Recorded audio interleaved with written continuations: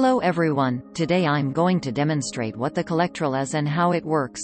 Collectral is data collection tool which allows you to collect data from Android devices into your ERP content server which is basically WordPress plugin. WordPress plugin adds functionality to WordPress site. So let's see how the Collectral is working. It consists of three components. The first one is basically the registration part where you register in main website, collectral.com. Here you get the point ID to the location of your collector ERP. Why is this required? It's because Android mobile devices should recognize location of your ERP and the software where you are collecting. To do that easily you need to provide your employees the key itself which will be used by Android device to connect to your server. It's important to mention that we don't store any data on our servers. All data which are being stored are basically on your website and we are not responsible for the data security. We only store these two values, the key and the URL of your website and in the future maximum the ID of device itself might be stored. The reason for this is that we need to control registration processes. We don't store any data which you collect. Collectral is a free application. To install it we go to Get Started at the right corner of the page. Then go to Download application. Here we have Android mobile devices.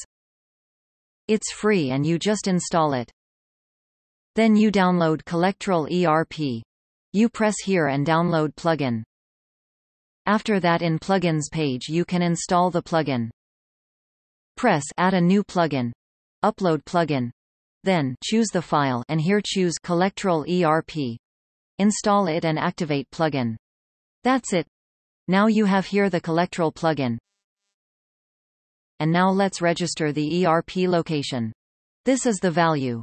You put here and this value that value you need to put here and save it. And after that we need to register the device itself. So let's delete this device. So now it should be clean. Let's go here. Add server. Because you can have multiple servers. Then we add username. Which is being visible in devices part. Here you can see your username. This will allow administrator of WordPress sites to recognize who this device belongs to. That's why you add your username and provide server description. To recognize which server you are connected to and where you are sending data. Because you can have multiple servers connected to your Android mobile. From the account page of the Collectral website you take the key and insert this value as numeric key and you save it. With this action you registered here, let's go to devices and check. See, demo user.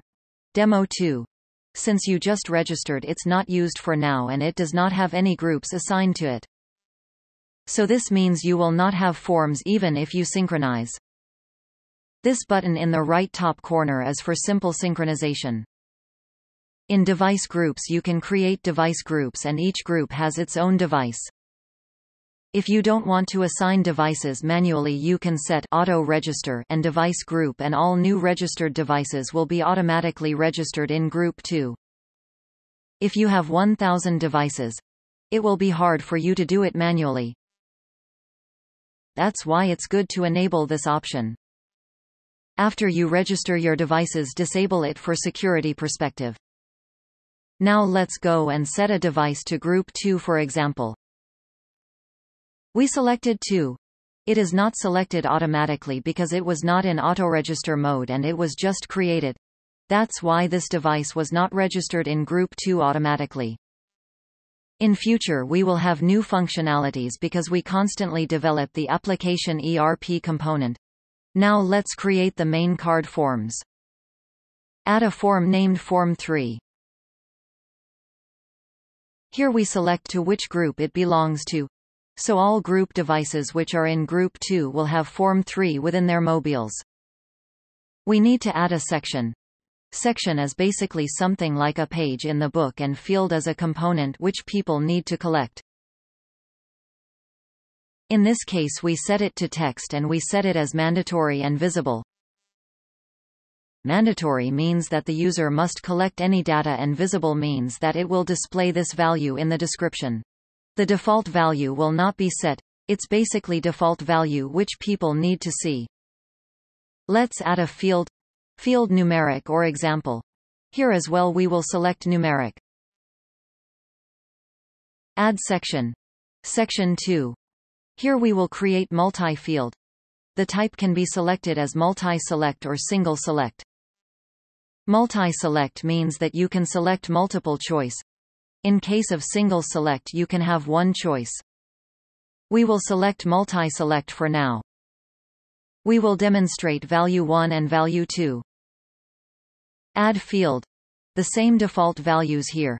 So that people could select these values. This is important.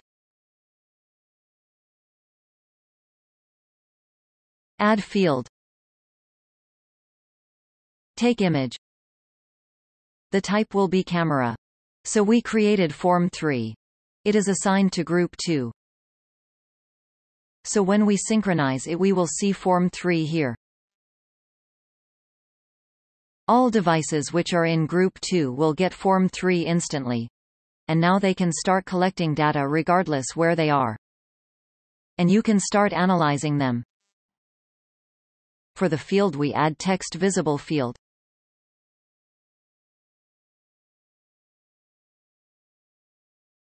Save. Field numeric. Let's change the section.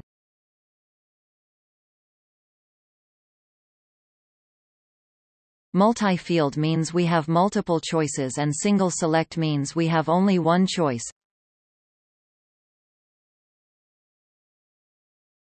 Take image means that we can take image. As this is for the first time you might be required to open the access to your camera. After that you can continue taking images and save it.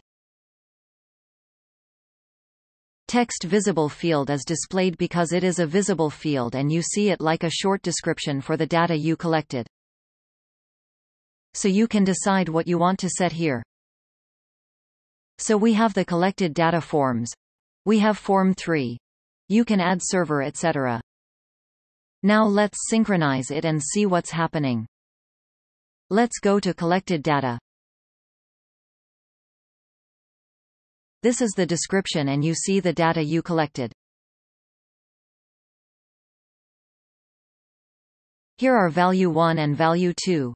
Single select. Value 2 is selected and this is the data you need to see. This is how the collection is happening. Also you have a filter here. Let's choose section 1. Field 1. This is all related to one application. This is how all is working.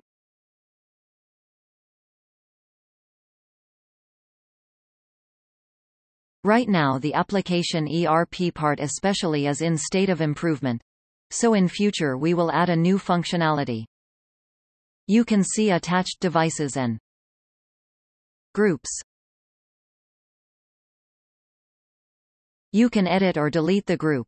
But be careful with the delete operation as the data will be deleted and as the data might be not consistent. We will add disable functionality in the future.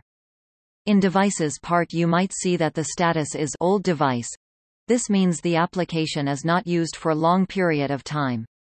We can change the interval in configuration page. If the device is 5 days old but it didn't send you any data it will be recognized as a device which is not even being used. If we change the interval from 5 days to 100 they will be seen as active. This is the URL link of your server and if it's behind the load balancer, it's better to use the load balancer link which you have. Here is the key which should be the same as on Collectral.com website. They should be synchronized as this key is used during the registration of your ERP. The plugin part of the Collectral ERP component is free so you can open it. With the PHP code any PHP developer can modify it and it's up to you to modify or improve it the way you wish or put new reporting functionality. You can ask our team to do the changes as well. This is how the application works. The application can be used in almost any field and any company because this is universal. You generate the required forms in order to collect necessary data. Basically you can use it for anything, you can use it for marketing purposes as marketing distributive application. Can collect data on assets etc. As mentioned previously all data will be stored on your server and we only store these two values for now.